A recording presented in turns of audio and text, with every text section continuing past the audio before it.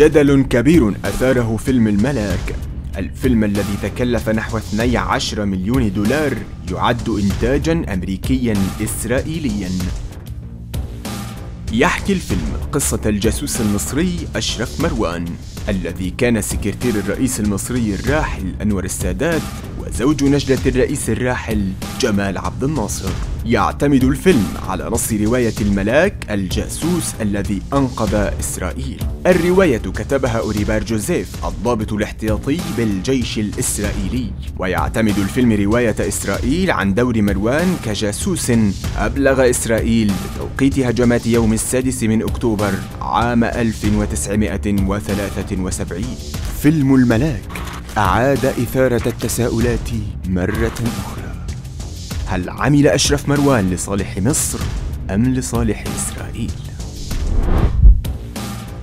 الرواية المصرية تستند على كتاب حرب يوم الغفران لإليز عيرة رئيس شعبة الاستخبارات العسكرية خلال حرب أكتوبر الذي قال فيه إن إسرائيل وقعت ضحية عميل مزدوج. سبب إخفاقا كبيرا للموساد وكان سببا في الفشل بالتنبؤ بموعد حرب أكتوبر. كما أكد الرئيس المصري الأسبق حسني مبارك قائد القوات الجوية المصرية خلال حرب أكتوبر أن مروان كان وطنيا مخلصا ولم يكن جاسوسا لأي جهة على الإطلاق ولم يبلغ إسرائيل بموعد الحرب. وبعد حرب أكتوبر قام الرئيس الراحل أنور السادات بتكريم مروان وجاء في حيثيات تكريمه أنه قدم لمصر في الحرب خدمات جليلة والدي وطني هكذا كانت كلمات جمال نجل أشرف مروان My father was a patriot. Did you talk to your father about this? I asked him, what's going on? Okay. And uh, he said, you know what? I'm a soldier. And uh, in war, you have to do certain things. جنازة مروان اعتبرت دليلا إضافيا على وطنيته حيث أقيمت له جنازة كبيرة بالقاهرة عند وفاته في عام 2007 حضرها عدد كبير من رجال الدولة المصريين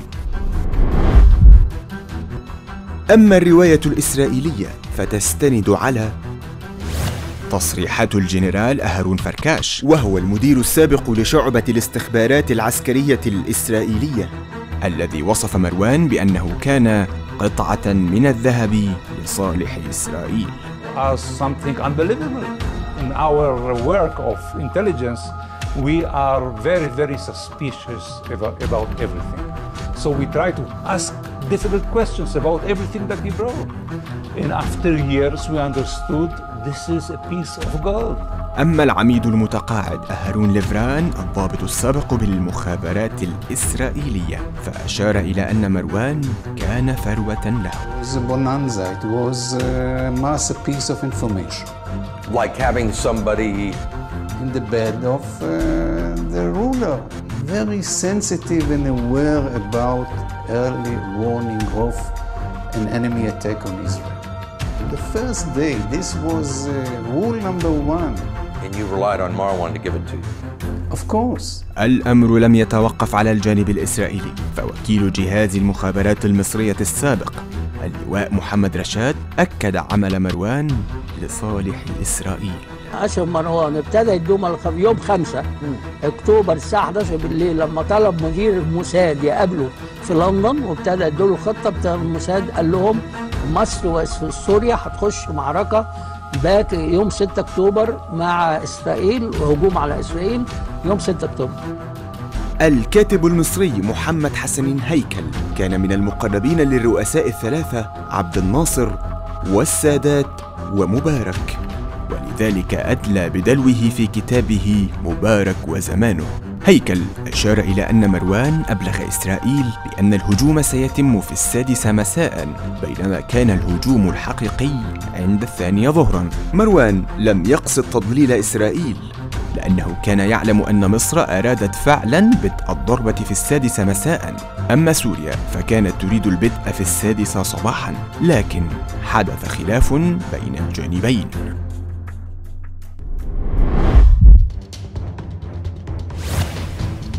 وفي عام 2007 تم الإعلان عن موت أشرف مروان في العاصمة البريطانية لندن. مات مروان بعد السقوط من شرفة منزله في الطابق الخامس وعثر على جثته خارج المسكن. ورغم مرور السنين لم يتحدد المسؤول عن الواقعة البعض يقول إن الأمر كان اغتيالا حيث شوهد في بيته شخصان ملثمان دفعاه للأسفل. بينما أكدت بريطانيا في تحقيقاتها أنه كان انتحارا بسبب تناوله لمواد مخدرة مضادة للاكتئاب. I'm not sure what happened, but what I'm sure is that he was definitely killed 100%. لمن كان يعمل مروان؟ لا نتيجة محسومة لأي من الطرفين He was able to hold conflicting loyalties at the same time. And that was his genius. That's what made him a perfect spy.